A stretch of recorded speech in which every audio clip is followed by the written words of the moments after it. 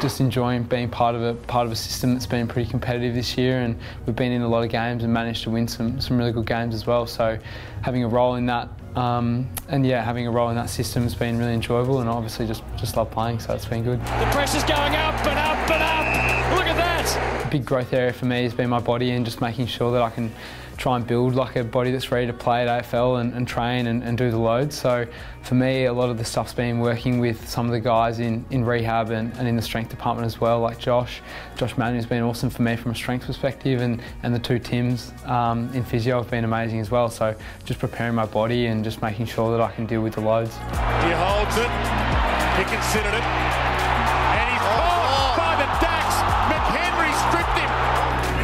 As he kicked it forward. McHenry had to go and he's fully committed. Great thing about Nixie is he embraces you as a person and as a footballer, so that's something that in terms of energy has always been kind of natural to me when I play footy. I just enjoy playing and I find energy somehow just playing. So Nixie's always embraced that and, and let that kind of just come naturally and I think my teammates like it too.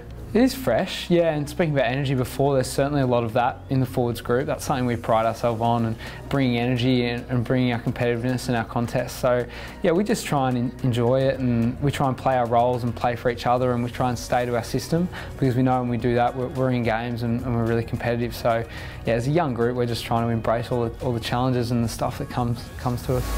Is it going to cost them another one from everywhere? Miss!